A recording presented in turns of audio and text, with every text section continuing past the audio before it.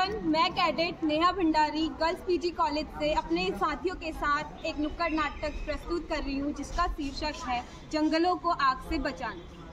सुनो सुनो सुनो, भाई, सुनो सुनो। सुनो सुनो, भाई, सुनो सुनो। सुनो सुनो, भाई, सुनो सुनो आया आया नाटक आया अपना नुक्कड़ नाटक आया आया आया नाटक आया अपना नुक्कड़ नाटक आया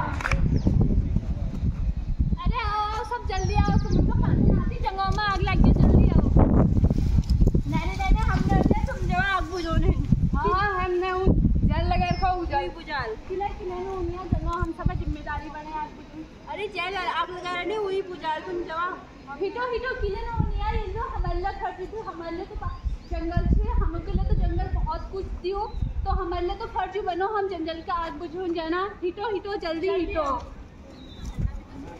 और जुटा आवा जंगल अपन बचावा और जुटा जावा जंगल अपन बचावा और जुटा आवा जंगल अपन बचावा और जुटा जावा जंगल अपन बचावा लगी है आग जंगल है लाल आग लगी है आग जंगल है लाल आग सब मिलजुली बुझावा और जुटा आवा जंगल अपन बचावा और भुला जावा जंगल अपन बचावा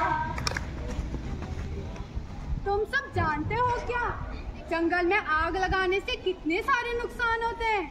नुकसान? कैसा नुकसान? जंगल में आग लगाने से नुकसान भी होते हैं। हाँ हाँ हम तो जंगलों से शहद निकालने के लिए अक्सर जंगलों में आग लगाते रहते हैं। हाँ हाँ। क्या आप सब लोग जानते हो यह छोटी सी आग पत्तियों के साथ हवा के द्वारा फैलकर पूरे जंगल को राख कर सकती है? तुम सब जानते हो ना कि इस हम किसान इस खेत में फ़सल उगाने के लिए इस कड़ी धूप में हल जोतते हैं पटवन करते हैं। फिर भी इतनी कड़ी मेहनत के बाद हम दो या तीन फीट की ही फ़सल उगा पाते हैं और इससे अपना भोजन कर पाते हैं। क्या तुम्हें पता है इस जंगल का किसान कौन है और इस जंगल की भूमि पे हल कौन चलाता है उसमें मेहनत कौन करता है? ये सब हमें क्या पता? इस भूमि पर इस भूमि की सतह पर अनेक कीट केंचुए पाए जाते हैं, जो इस जो इस भूमि की मिट्टी को उर्वरक योग्य बनाते हैं। और तत्पश्चात हम इस पर छोटे छोटे तत्पश्चात में बीज बोकर हमारे पेड़ पौधे उगाते हैं। और जो छोटे छोटे कीट कीट केंचुए होते हैं, वो जंगल के किसान होते हैं। अब यदि जंगल में यदि आग लग जाए तो ये कीट कीटाणु भी नष्ट हो जाएँगे, अर्थात मर जाएँगे। क्या ऐसा भी है? हम सब अपने फ़ायदे हम सब अपने कुछ कुछ फ़ायदे के लिए जंगलों में आग लगाते हैं। नेहा नेहा। अरे क्या आप लोगों को पता है?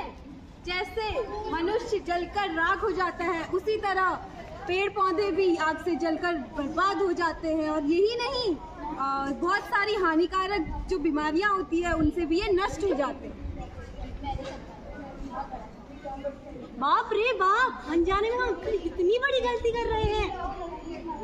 और फिर कुछ नहीं होता, जंगलों की जली हुई मिट्टी और राख वर्षा के कारण आसानी से बह जाती है और बहकर धरती की उर्वरा शक्ति को समाप्त कर देती है। और सुनो, जंगलों में बार बार आग लगने से जो जो पकी हुई मिट्टी होती है, पकी हुई मिट्टी होती है, वो नष्ट हो जाती है। बाप रे, इतना बड़ा नुकसान। आज मुझे बहुत बड़ा अफसोस हो रहा है कि हम अपने फ़ायदे के लिए जंगलों में आग लगा देते हैं, पर कभी कभी तो लगी हुई जंगलों में आग को देखकर छोड़ देते हैं। पर ऐसा नहीं है। जंगल हमें बहुत कुछ देता है।